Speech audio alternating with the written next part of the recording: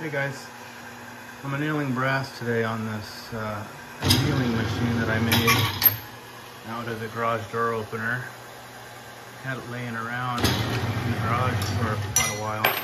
Just couldn't bring myself to throwing it away. It was like a machine that could be made into something else. So I had to do something with it. First of all, I just cut about the majority of the track off of it, scrap that out and recycle, and just hung on to the motor and a couple feet. But um, took a lot of thinking to uh, get this thing being operational.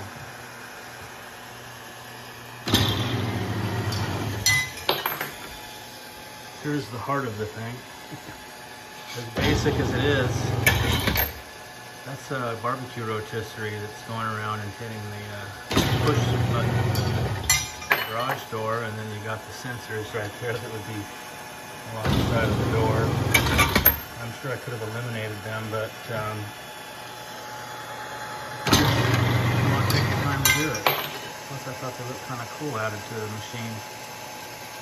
The rotisserie is actually a bicycle hub because of its ratchet. And then I made a little wrench out of aluminum that hits these stoppers. And back here it to position. The bicycle hub has 30 spoke holes in it. And up in there I have these little plunger, spring-loaded plunger detents that go into each spoke hole where the spoke used to be. And it timed out that it gave me 10 positions. Oh, amount of, amount of brass. Whoa, the hot ones.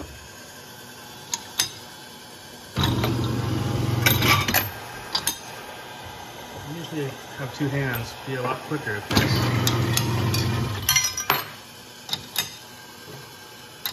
Can load nine in at a time.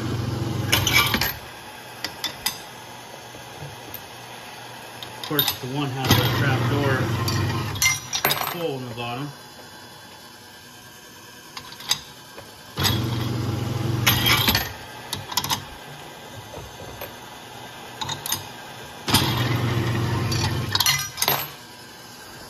got a little rotisserie there that used to have a, another barbecue rotisserie motor underneath, but it traveled too slow. It one revolution.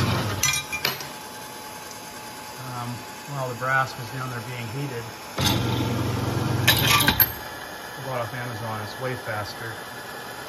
And it spins the brass several times. A more even job on it.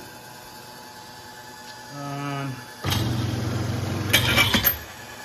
this arm right here is actually from the garage door arm, kind of like you see up there. Um, and then I mount, made a bracket to mount the uh, bicycle hub to it. And then it kind of comes into a stopper right there, a guide stop.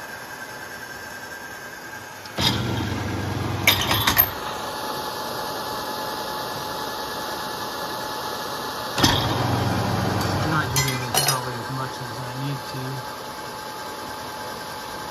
Turn it up just a little bit.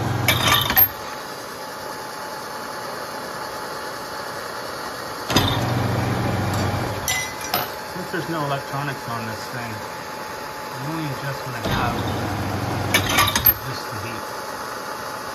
But uh, does a good job for me. I turn the lights off in here.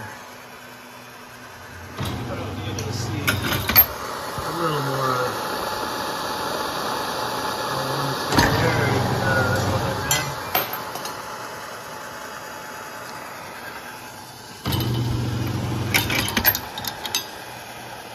Load some more. I can do uh, 50 rounds in 10 minutes. It's way faster than my old method.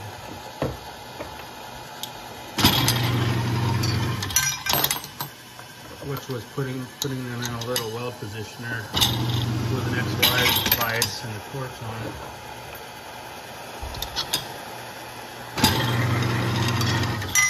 There's a trap door right there, or a hole right underneath that one. So when they rotate over, just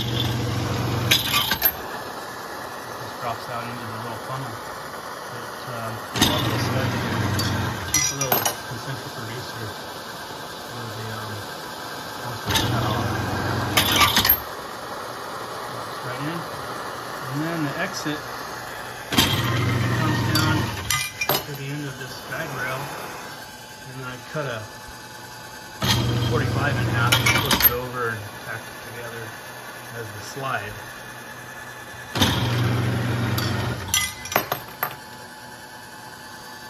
And I got the posts for the uh, nat gas bottles.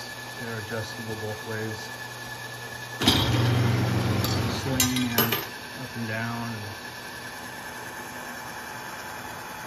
But anyway, I know it's kind of a Rube Goldberg device. Um, it, was, it was fun it. I spent a lot of nights uh, falling asleep trying to solve problems. Sounds like the uh, rubber snubber travel travel limiters. Where's this one at? Right there. Yeah. This. It um, traveled as it got warmer. It seemed like even in the weather changes, it traveled travel a different distance. So for all the timing, I had to limit it to soft in places every time. And then over here, this is my little prep station with a trimmer and pocket tool and deburring stuff. It just has a drill motor inside the stainless box. I don't know if I mentioned, I'm doing 7 millimeter PRC today. A barrel I'm going to be putting on my rifle um, today or tomorrow. Anyway, that's my device. Thanks for watching. Please like and subscribe.